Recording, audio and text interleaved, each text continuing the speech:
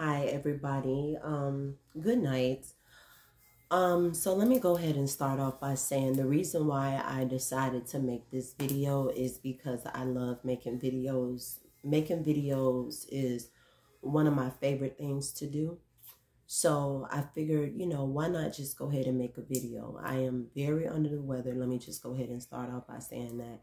So I just decided to put some lashes on and fix my face a little bit. The lashes are not perfect. Nothing is perfect um, about me. But um, I just decided, you know what? Let me just go ahead and put on some, you know, look a little cute, you know, you know, to make this video and just be fully transparent and be myself, which is something that I've always wanted to be and really looking at the little girl inside of me and searching to see who she really is and what she really wants. And it's such an amazing journey. The ups, the downs, the sides, the turning around, all of that. But today, what I'm going to talk about is currently, and I will say this, um, this is October the 3rd, I think.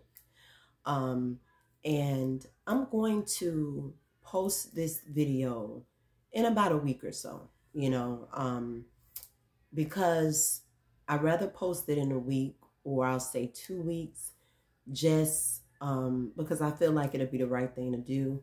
Um, because I know, you know, things change within a matter of days. And um, I know when I do make my next video and I conclude unto what I said on this video, it will make perfect sense with everything that I'm talking about.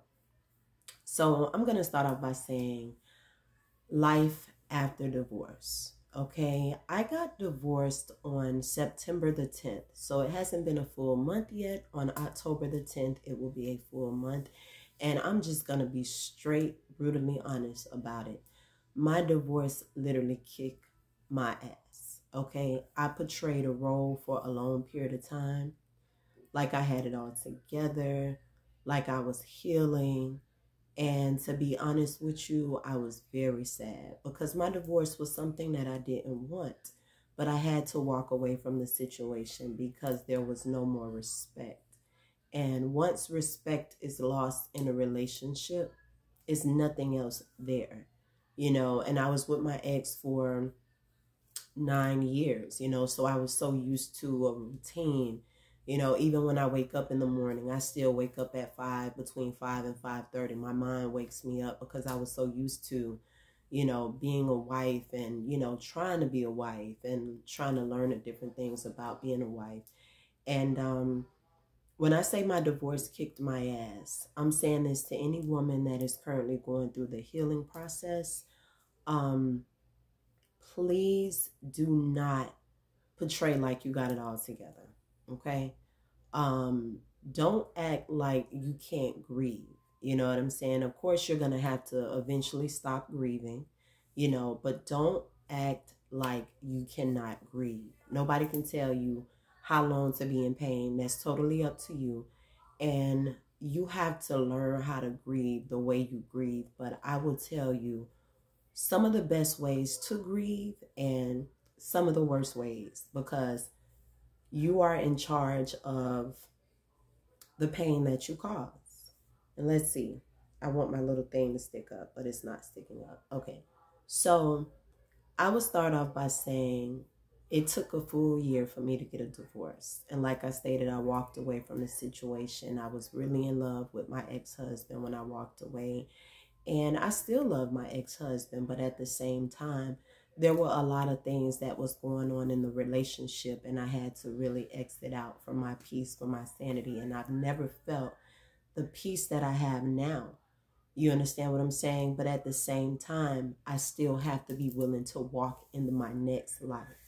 And that's the thing about going through the healing process. I was so used to living um, unorthodox life, you know, where I was so insecure, you know, looking up cell phones, finding out you know, so many things about this different person and that different person. And for so long, I was so used to that life to after my divorce. Well, not completely after my divorce, but during the divorce process, I was still living like I was still in a marriage with that person and it was hell for me, you know, and um, just waking up every day you know, thinking about that situation. And there are times where I still wake up and I think about that situation because a year is really fresh, you know. Um, and I would ask some of my friends, how long would it take to get over divorce? And a lot of them would say, oh, it's going to take about a year, you know. And um, I try to find ways to get me to feel good about getting a divorce by trying to move on to certain people and it just wouldn't do its job.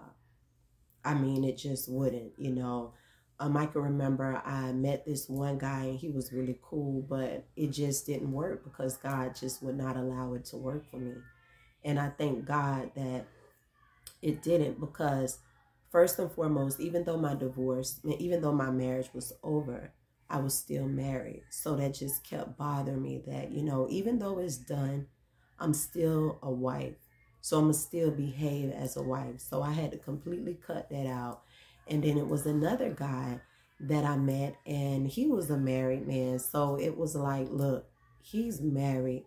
Why the hell would I even be in the cause of him leaving his wife? And their marriage was pretty much over, but something inside of me just could not something inside of me just didn't feel complete dating somebody that's was going through a divorce. So i really feel like at the time that we connected because of the fact that we were in the process of getting a divorce. So i had to really break it down and let him know look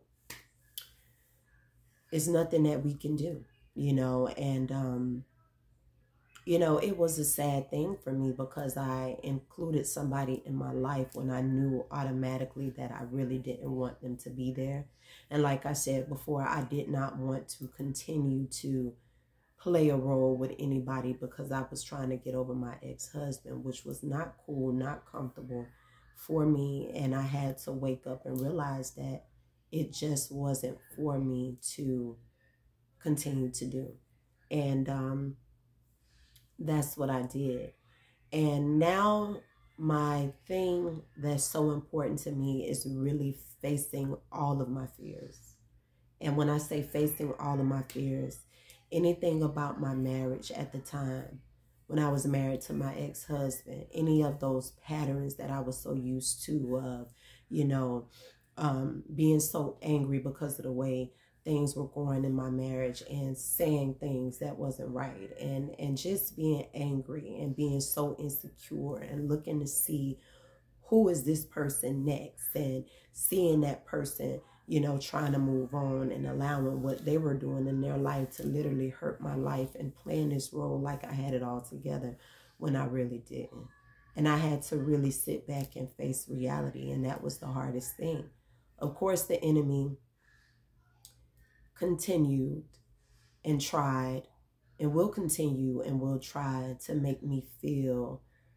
And and and I will say this for any woman that is facing this. If it's anything that you did in your marriage that destroyed you because of somebody else and what they did please put a stop to it. If it's anything if you were an investigator I was an investigator because I knew what was going on and that's a hell-bound feeling inside where my emotions was fucked up.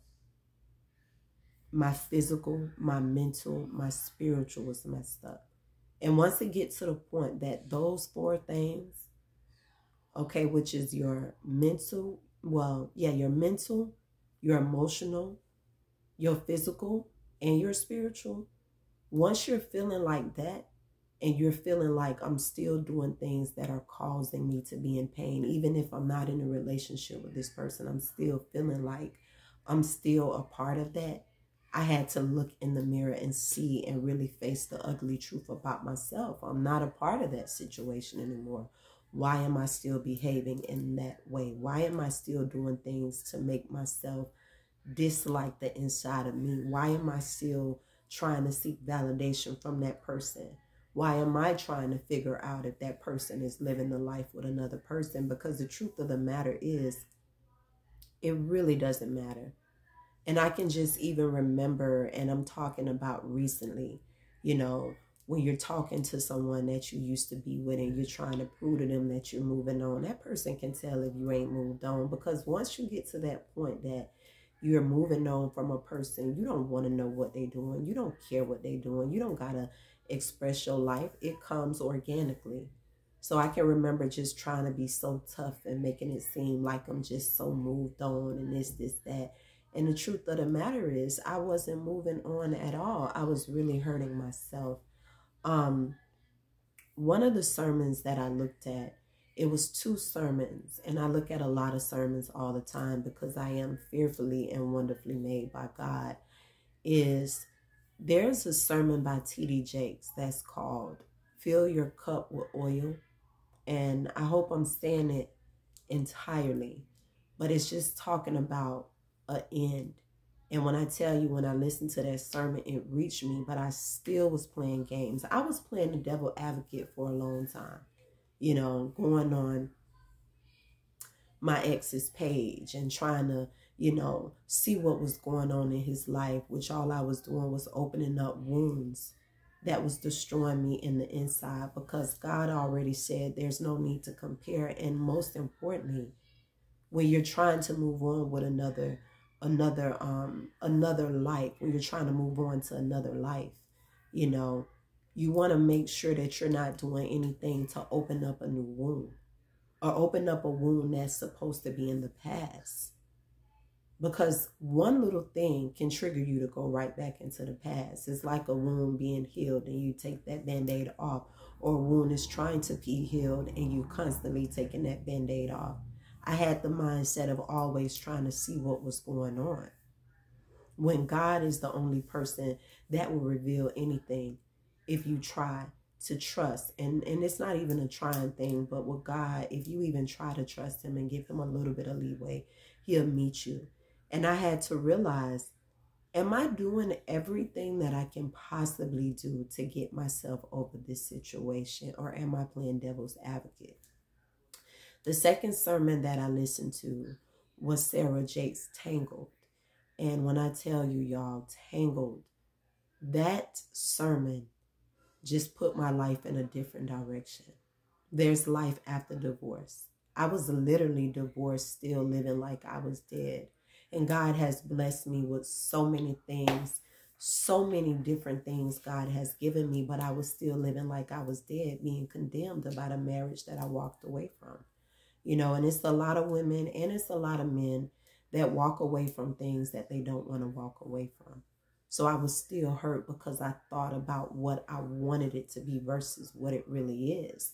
And what T.D. Jakes said in one of his sermons, he um he had a discussion with these two pastors, these two married pastors, and um one of the questions that the guy asked, he said, how do people get over divorce when they're still intaking that pain of what happened in the past? And what T.D. Jakes said is the reason why one of them move on is because one of them have gotten to that understanding of what it's never going to be, while the other person is still wondering what it was. And I had to get out of what I wanted it to be and how I wanted that person to treat me and what I wanted that person to do. I had to get out of that. And it's a very big dose of reality because once your mind is so used to being in a certain space and you have to get out of it, the enemy is going to tug a war with you. Like literally tug or tug a war with you. And I feel like the only way that you can really heal from anything, anyone, is by reading the word of God. It's so interesting because when I opened up my Bible and I started putting my hands in the Bible and looking for scriptures, I automatically started feeling like that little college girl that was reading the Bible and was so close to God. I just felt like everything was coming in tune with each other. And um, when I looked at Tangled, Sarah Jakes, she stated, Pastor Sarah Jakes, she said,